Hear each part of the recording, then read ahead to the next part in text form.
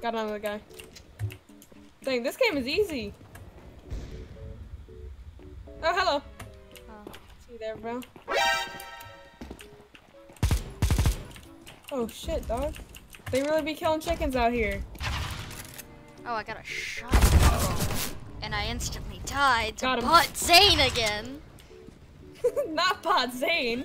Oh! Bot Zane, the. You.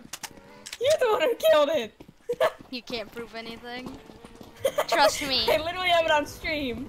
Well, you see, Watch in chicken culture, we're at war with the CSGO chickens. You see, they're actually Oh part yeah, of the sense. illegal CSGO chicken mafia.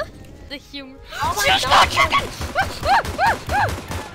he nearly got away from me. How did I not kill Bot Zane? I literally. There's so many of them over here. Oh, I can't go through that doorway. That's kind of gay. It even tells me that I'm neutralizing the enemy, so you know that it's right. I killed another chicken for neutralize the chicken. Bot Zane is dominating me. Whoa, he hasn't even taken me on a first date yet. Man, look at me. I'm coming in and then first, second, and third. I'm so good. Little Slayer. Yeah, honestly, Dust 2 is not like the worst. Let's just be totally honest. This too is You're telling us amazing. not. Yeah.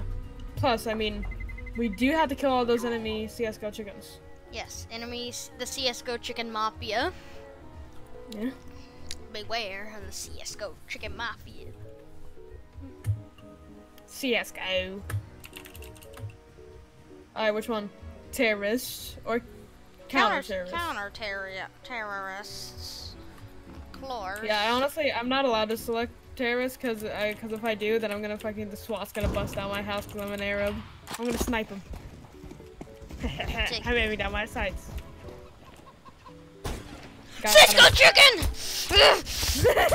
this guy's working for them. oh, I just But Quinn is working for the CSGO chicken mafia.